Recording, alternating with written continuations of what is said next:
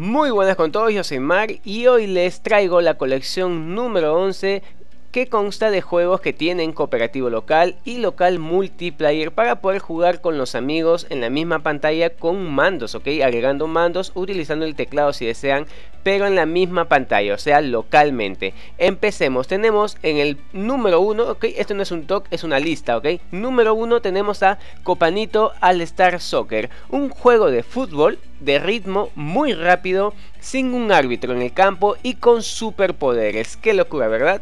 Puede que todo esto no parezca nada serio, pero todo está bien equilibrado y totalmente basado en habilidades.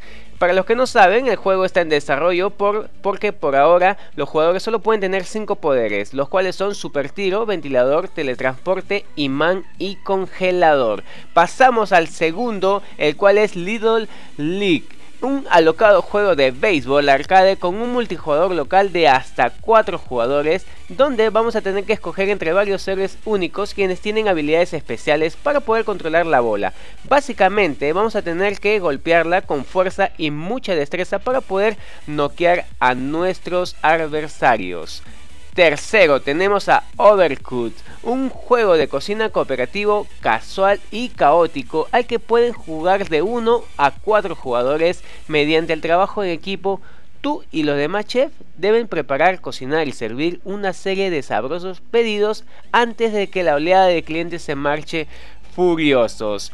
Cuarto, tenemos a Tricky Towers, un juego muy frenético de acción física y muchos puzzles con un multijugador local de 2 a 4 jugadores con 3 modos de juego, carrera, supervivencia y puzzle, donde echaremos hechizos por todos lados para poder evitar que nuestro amigo, entre comillas, logre armar su torre.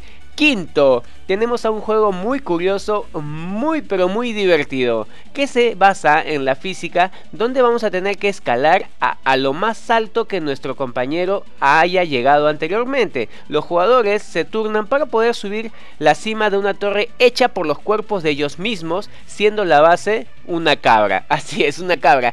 Ok, si no llegas al punto más alto que tu compañero ha alcanzado antes de que se, termine el tiempo, simplemente quedas eliminado. Sin duda alguna, este juego es muy divertido, lo recomiendo muchísimo. Todo lo de la lista son muy divertidos, ¿eh? así que no se lo pueden perder. Vamos a pasar a lo que es la instalación. Eh, voy a dejar en la descripción del vídeo un enlace, ok, lo cual lo van a poder descargar manualmente. Es una carpeta donde van a poder encontrar todos los juegos a la última versión. Si sale alguna actualización lo voy a poner acá y la mecánica de instalación va a ser la misma, lo cual es muy sencillo.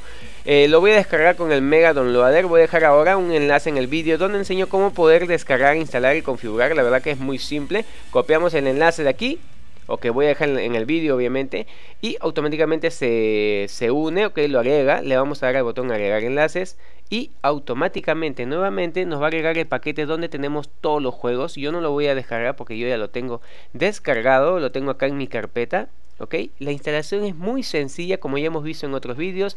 Le vamos a dar, por ejemplo, ¿ok? Le vamos a dar doble clic al de acá Esperamos un momento que se ejecute la aplicación. Mientras tanto, vamos viendo los requisitos del juego, ¿ok? Eh, en general, ¿ok? Estos requisitos son en general. He agarrado el requisito más alto, es el que pide un poco más para que no tengan problemas. Nos pide como mínimo un Windows XP Serial Pack 3 hasta un Windows 10, tanto de 32 como de 64, un procesador de 2 núcleos 2.4, un MDA de 2.6, 2 GB de RAM, 1 GB de memoria de video con Pixel Share 3.0 eh, versión del Direct 11, 1.5 GB de espacio libre. En realidad, este, estos requisitos, más que todo el del video y del Direct, es de uno de los juegos, el cual es el Overcooked. Ok, chicos, los demás piden mucho menos.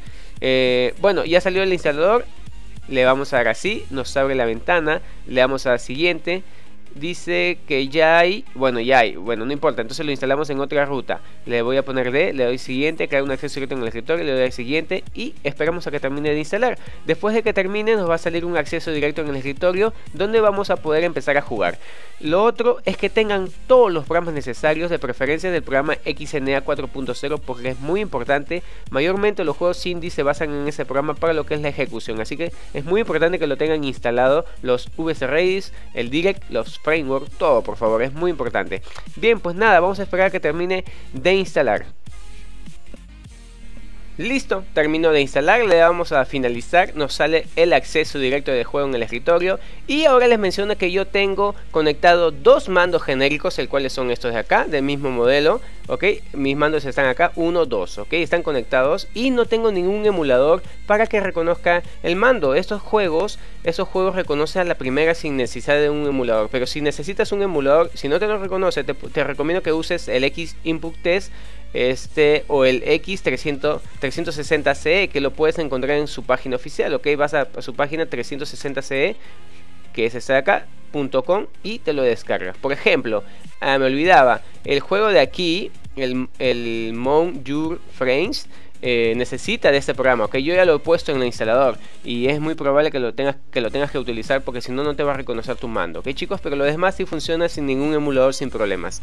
Y pues nada chicos, no hay más que decir, espero que les haya gustado este vídeo, será hasta la próxima, yo me tengo que ir, cualquier duda, consulta, pedido, por favor déjenme un comentario en la descripción, será hasta la próxima, un abrazo a todos, nos vemos, chao.